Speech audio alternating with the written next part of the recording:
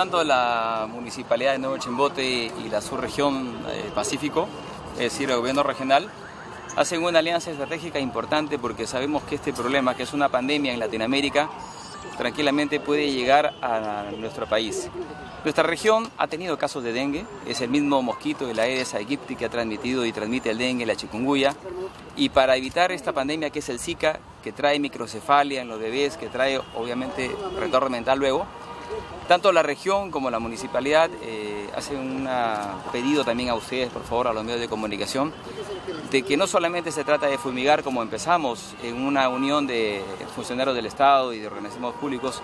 en fumigar los sitios críticos de humedales, sino también de concientizar a la gente de tapar los sitios y los estanques de agua. La, va a ser este, similar a la de Casma, a la de Guarmey, ¿no? De acuerdo a, este, los, claro, diario, diario, este, prácticamente tres veces por semana. Estamos en alerta, usted lo ha dicho, estamos en alerta y tenemos que hacer todas las prioridades para, este tema de la fumigación. Bastaría con lanzar la alerta amarilla y el Ministerio de Salud nos va a reembolsar algo de 2 millones ¿De qué depende de que se lance esa alerta amarilla? De los casos, que aumentan los casos.